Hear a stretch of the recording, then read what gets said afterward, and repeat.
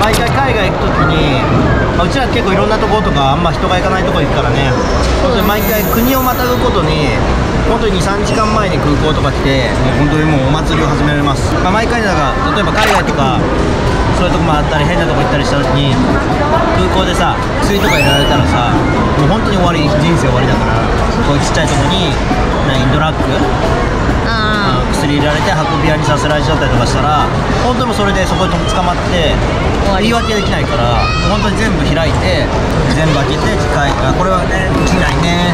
はい。18歳の時でねエロ本をねホテルでね、手に入れたんだよ、モザイクなしの。そう。もう嬉しくて嬉しくて。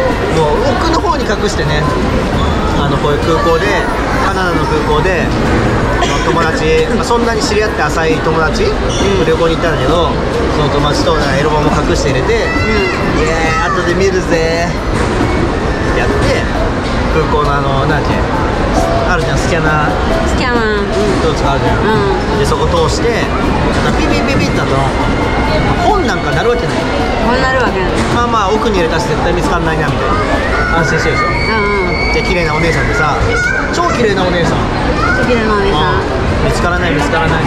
でまあいろいろ調べてあオッケー。でもう一回またピーって通してピーって通してまあ当時はまたピーってなってマジなんだよ。何入ってんだって何回やってもピーってなって、んうん。もういろんなとこ調べ始めてああもうダメだ。ああお姉さんがエロ本に行ってあー。あー。お姉さんエロ本見つかると思って、うん。うんね、見つかった。見つかってもうもうその時点で超恥ずかしいじゃん。みんな見てるみんな見てる。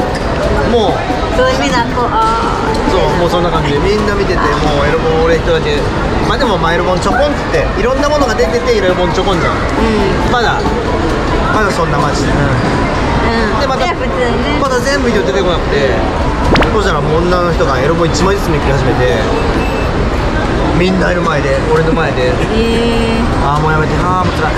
超恥ずかしい。超恥ずかしいよ。だったらもう。で最終的には全然見つからなくて最後はクリップちっちゃいクリップがエロ本の中から出てきてはあ。ってことはってことは？よりはそのエロ本は全然見なかった。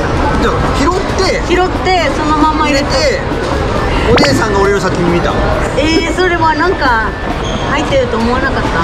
やもう本当初めての旅行とかだったから。なんか別のこと入ってるかもしれない。何別のこと？あれだだって。ベロちゃんのあれが分かる人はコメントください本当に分かんないわ。